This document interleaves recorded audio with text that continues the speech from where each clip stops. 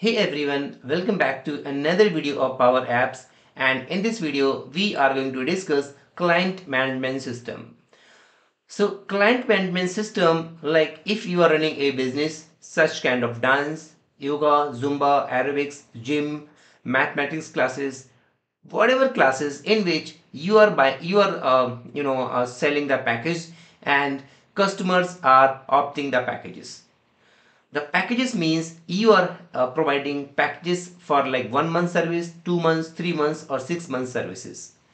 So if you are selling such kind of services for a client then how you will understand when the service is going to be expired for your client.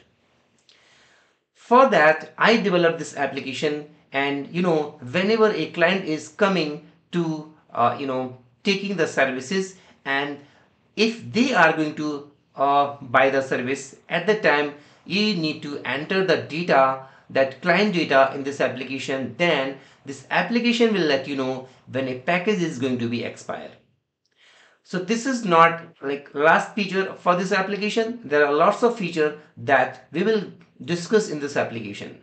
Like if you want to understand what is the what is the revenue generated for a month from a business how you will understand.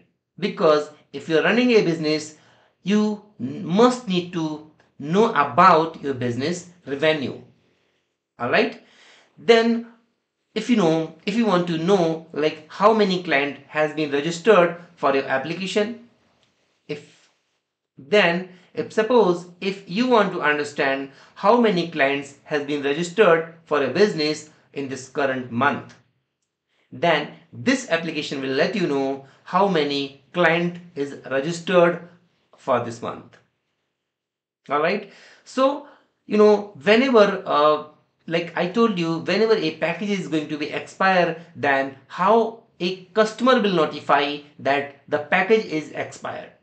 So for that i integrated whatsapp api and then that WhatsApp API will notify to the customer that hey user your package is expired please renew. So you will learn lots of things in this application like uh, not, not the business actually if you want in like you are a developer obviously then if you want to understand you know what is the concept behind gallery control in a power apps power apps form like we can say sharepoint uh, custom list form and CRUD operation, patch function, and you know Power BI integration, WhatsApp API integration, lots of things that you will understand in this application. So stay tuned, stay connected and let's have a fun and if you didn't subscribe my channel then please subscribe my channel. Alright, here we go and this is our home page of our application and here you can see we having multiple options. I'll let you know everything in the details. So here you can see choose a branch. Here you can choose the branch of your business and then here you can see login and login as admin. The difference between login and login as admin is uh, suppose if you having different kind of privilege you know uh, you want like something you don't want to share with your receptionist basically your application is going to you know used by your receptionist because they are going to enter the data into this application whenever a client is coming to you know take the packages eh, take the services. So at the time you don't want like you don't don't want to share the company revenue the business revenue with your receptionist. So that kind of privilege you can provide in this application. Okay? So suppose if they are going to log in you can hide that screen the revenue screen. If you are going to log in you can you know uh, show that screen. So for now i have put it everything in you know in uh, in, in login only. So i didn't provide any kind of privilege but because i'm having single user license for now. But yes if you having multiple users login then you can provide the permission over here. All right so let's click on this login button. And here you can see this is our pretty good looking dashboard so now here you can see we having active clients. So the active clients means the clients the total number of clients they are active. And inactive clients the total number of deactivated clients. New clients means the total number of client that registered for a month. Pending amounts means the total number of client who having something pending. Alright. So what does that mean? If you click over here, you can see if I choose this user, you can see this user having 2500 as a pending amount. And then month revenue. So this is the revenue of a current month. Whenever you will click over here, you can see you will get all the details over here.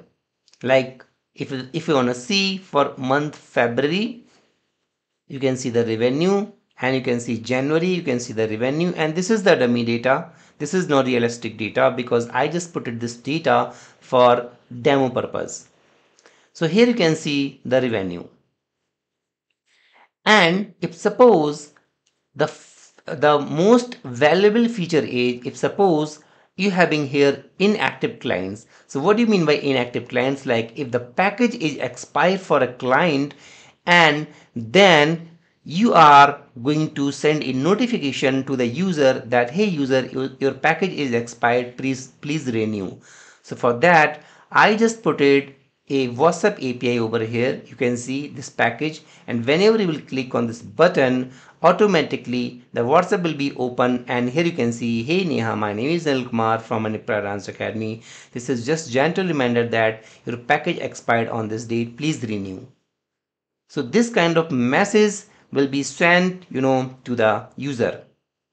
And then also if they are going to discontinue, then you can ask for the Google reviews. Like say Hey Neha, please provide Google reviews and this is the Google, Google business link. Okay. And then these are new client and here you can see the profile picture I uploaded over here for a demo purpose. New clients means the client are registered for a month and if you want you can add another client from here. You can go over here and just choose the you know batch time if you're looking to add a client on a specific batch time then you, you need to choose the batch or if you are running a business in which batch time is not mandatory then you can directly add the user without batch. You can just remove this drop down and you can use the you, you can just create the user. So for now here is the username mobile number batch time. If you want you can choose something else over here.